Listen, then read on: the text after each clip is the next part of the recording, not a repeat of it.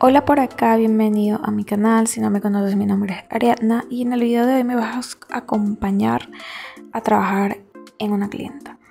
Ella es una clienta nueva, como siempre antes de comenzar aplico un poquito de sanitizante y con un cepillito limpio súper bien la superficie de las uñas. Voy a estar retirando todo el sistema. Este sistema que trae ella no lo realicé yo, lo realizó una colega.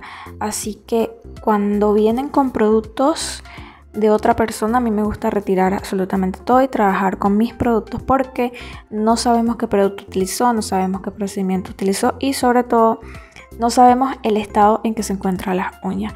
Ella me comentaba que era su tercer em, mantenimiento y que ese mantenimiento ya lleva un mes, es decir, estas uñas llevan un mes. Y algunas que otras se le habían desprendido obviamente en el área de cutícula. Este es un sistema en acrílico que ya tiene, la verdad el acrílico yo lo considero uno de los sistemas más tardados para retirar, es muy tedioso, así que con la broca yo voy a estar rebajando el producto lo más que yo pueda, con muchísima paciencia. Algo que me pareció muy extraño es que ella le comentaba que le dolían las uñas, cosa que no debería de pasar. Me decía que sí le dolía. Igualmente al momento que ella llegó, ella me dijo, las uñas me duelen y desde hace semanas me dolían. Obviamente lo, yo atribuí el dolor al crecimiento y no presté tanta atención en el momento. Yo acá cambié la broca de cerámica por una broca de cerámica cónica porque no sé, en lo personal siento que estas brocas cónicas son como más cómodas para realizar retiro en lo personal. Obviamente puedes usar la broca con la cual tú te sientas cómoda. Una vez yo rebajé todo el producto lo más que yo pude, yo sacudo súper bien con un cepillito y voy a aplicar una capa de removedor mágico. A mí me gusta retirar todos los sistemas con removedor mágico porque siento que es menos invasivo para la piel y este removedor solamente se encarga de ablandar el producto que queremos retirar. Así que aplico una capa delgada y lo dejo actuar durante unos 5 minutos. Pasados los 5 minutos voy a tomar de nuevo mi broca de cerámica y voy a estar pasándola por la superficie. A este punto debería estar blando el producto y debería de salir súper fácil. En este caso la capa de producto era bastante gruesa, así que opté por aplicar otra capita de removedor y la dejé actuando de nuevo durante unos 5 minutitos. Pasado el tiempo volví con mi broca de cerámica y como pueden ver el producto ahora sí sale sumamente fácil y quedaron las uñitas totalmente libres. En este caso ella quería que trabajara en sus uñas naturales así que yo opté por rebajarlas para emparejarlas todas. Puedes usar un corta uña, yo uso este corta cutícula porque siento que al ser recto el corte me sale mucho mejor y es como más estético, pero tú puedes usar obviamente un corta uñas normal, como muy corriente. Al momento que yo retiré el producto y estaba cortando las uñas, detallé que tenía unos grandes aros de fuego que vienen siendo esos surcos en forma de luna que tiene allí.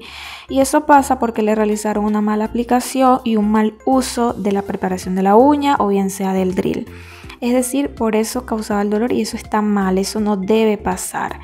Así que si no saben usar un drill, no lo usen, no lo usen. Luego voy a estar preparando la uña con un poquito de removedor de cutícula, lo dejo actuar 3 minutos y voy a proceder a empujar la cutícula retirando todo el tejido muerto. Como pueden ver sale bastante, bastante. Luego voy a pasar la parte del bisturí con mucho cuidado para retirar toda esa piel muerta que se adhiere al área de cutícula. Retirar esta piel da la ventaja de que los sistemas no se te van a desprender en el área de cutícula es decir, que te otorga mayor durabilidad. También recalcar que no todas las uñas son iguales, no todas las personas son iguales, hay personas que no tienen mucha cutícula, hay personas que tienen bastante, así que esto es variable. Pero en este caso ella sí tenía bastante cutícula adherida, así que voy a estar retirándola obviamente con muchísimo cuidado. Luego que la retiré voy a tomar una broquita de grano 180, un barlito, y la voy a pasar solamente en el área de crecimiento. No voy a tocar la parte del surco hacia abajo. La parte del surco hacia abajo simplemente pasé una lima suave, una lima de grano 240, simplemente para abrir una porosidad leve para matificarla, pero de la parte del aro hacia abajo no quise limarla con una lima de grano 180 porque como pueden ver tenía un aro de fuego y eso ocasiona que la placa de la uña se debilite y incluso puede ocasionar trauma. Así que yo les repito, si no saben usar un drill, no lo hagan. Ella tuvo una mala aplicación de acrílico. Seguramente le querían sellar el acrílico con el drill en el área de cutícula para que sea más pulcro y ocasionaron ese aro de fuego. Una vez obviamente que ya yo le matifiqué mi uña, voy a estar retirando mi alicate de cutículas todo el exceso de cutícula que está allí con mucho, mucho, mucho cuidado. Y voy a perfeccionar un poquito la forma para que me quede cuadradita porque así la quería ella. Yo apliqué mis preparadores primer, protein bond y luego una capita de base gel, la cual voy a llevar a lámpara durante un minuto. En este punto, como pueden ver, se ve demasiado, demasiado, demasiado el aro de fuego y yo se lo comenté. No me gusta criticar a otras colegas, pero está mal. Si tú no sabes utilizar las herramientas de trabajo, no lo hagas. No te arriesgues porque esto incluso pudo ocasionarle un trauma a la uña. No lo hizo, pero estuvo cerca. Una vez fuera de lámpara, yo opté por aplicarle una nivelación con Wilder Gel. El Wilder Gel es el mismo gel que utilicé en uno de mis videos anteriores, es el de construcción y en este caso lo estoy utilizando transparente. Voy a tomar obviamente una cantidad de una gotita, lo distribuyo del área de cutícula hacia la punta y luego con un liner voy a estar distribuyendo el producto hacia los laterales. Esto prácticamente es una nivelación con gel de construcción, una especie de capping. Lo que va a hacer esto es obviamente otorgarle más firmeza a la uña, más dureza a la uña y va a protegerla. Como tiene esos aros de fuego, mi idea era colocarle un capping de poligel, pero opté por el gel porque creo que es un material muchísimo mejor para este caso, ya que al ser 90% duro, le da una buena durabilidad y le da también una naturalidad a la uña espectacular.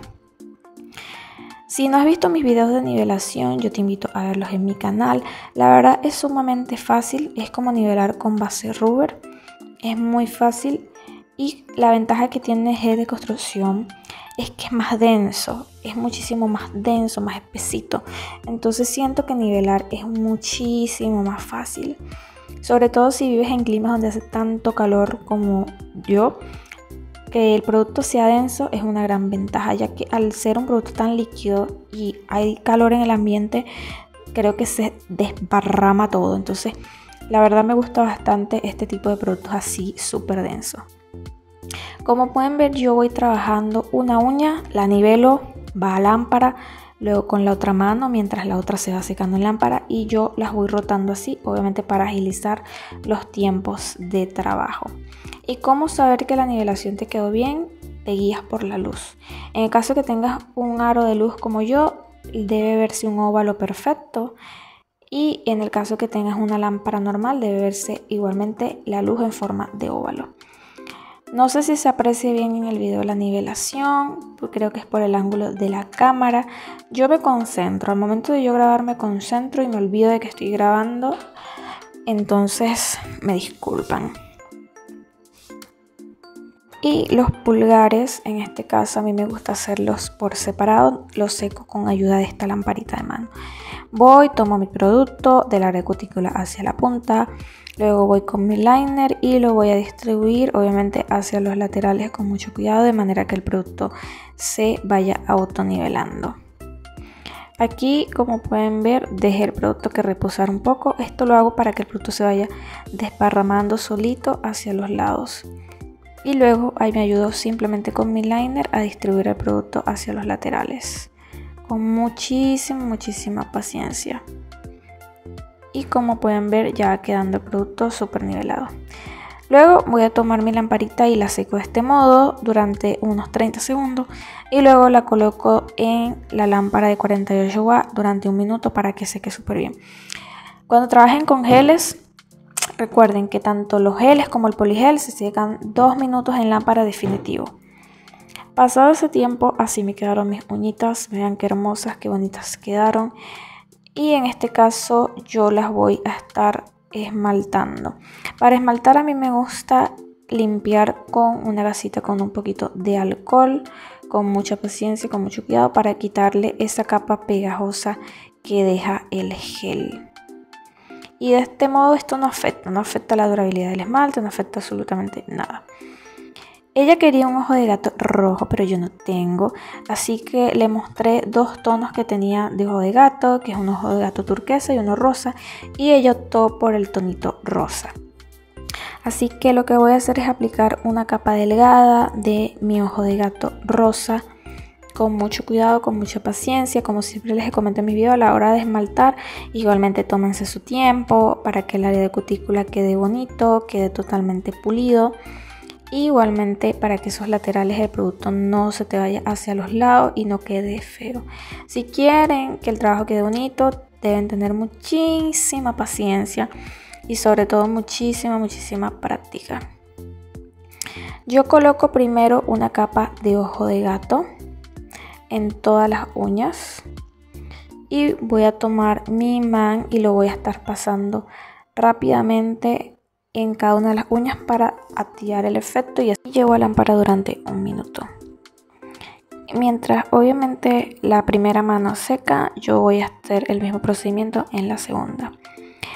Luego fuera de lámpara voy a estar aplicando una segunda capa de esmalte ojo de gato y repito el procedimiento con el imán activo el efecto con muchísima paciencia, un lado, luego el otro lado y la punta. Y llevo a lámpara por un minuto. Para finalizar aquí aplico una capa delgada de top coat en cada una de mis uñas. Y llevo a lámpara durante un minuto obviamente para que seque súper bien. Una vez fuera de lámpara voy a tomar un poquito de sanitizante y un cepillito y voy a estar limpiando la parte de abajo si hay polvillo. En este caso hay polvillo, así que humedezco el cepillito y lo paso abajo para que se retire todo el polvillo. Luego, o como siempre, aceitito de cutícula en el área de cutícula, su masajito y así quedaron. Como pueden ver quedaron súper bonitas, súper naturales, súper delicadas. A ella le encantaron, a mí igual. Así que esperemos que este sea un inicio de un proceso de crecimiento para que estas uñitas estén sanas y sin esos horribles aros de fuego. Espero que te haya gustado el video, que te haya sido por lo menos de guía, de ayuda y si te gustó no olvides dejarme tu like, tu comentario y suscribirte y seguirme en mis redes sociales. Nos vemos en un próximo video. Que Dios te bendiga. Bye.